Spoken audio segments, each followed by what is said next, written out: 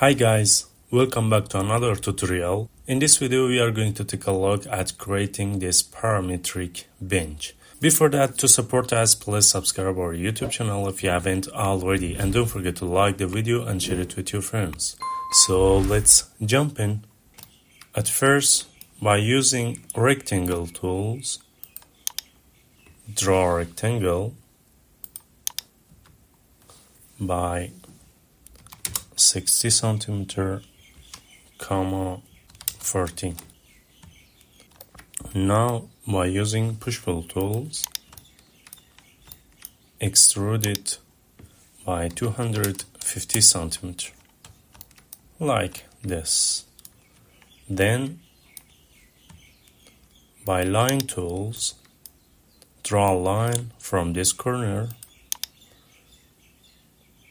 find the midpoint then move it up to here and again here too. And another line here and here.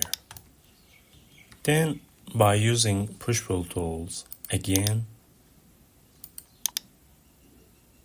delete here and by double click delete here and here too. Like this. So now select all and make it group.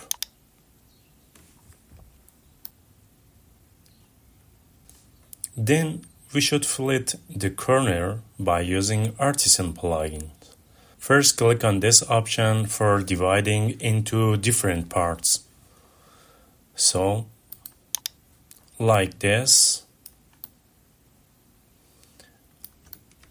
Then click on this option to fillet its corner and and from here we can increase the segments. Like this. And at the end click on comment like this so now let's cut it into layers by using a slicer 5 plugin. So at first we should select it then click on this option. As you can see in here we have a window First option, we should uh, select our axis. For this one, I choose X.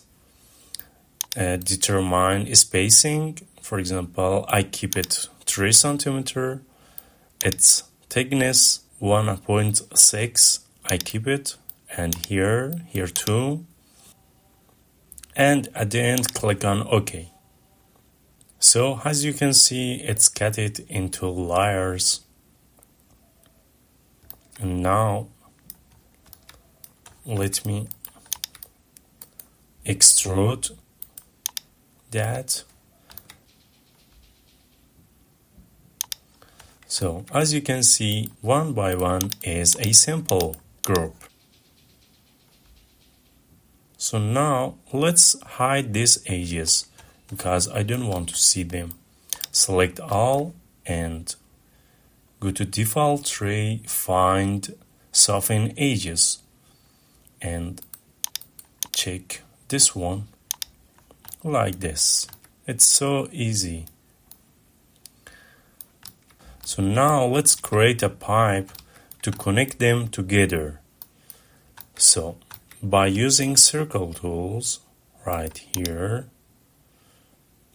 let me change its segments find its midpoint, keep it on, and move it here, right here, and draw a circle by 2 centimeters, like this. And by using push pull tools, extrude it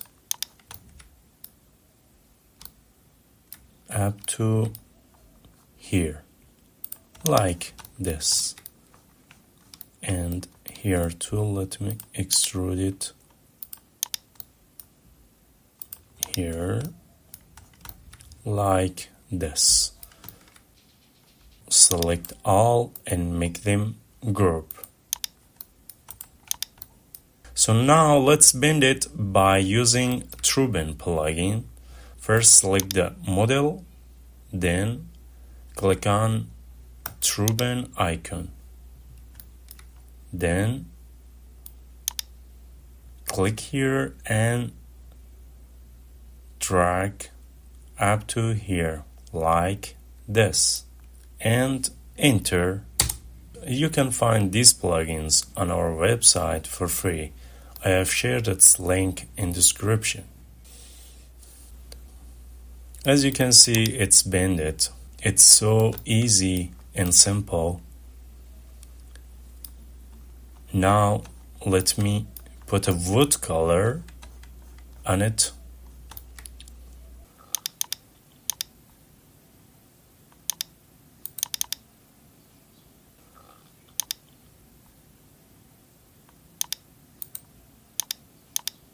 So guys, I hope this tutorial was useful and helpful for you.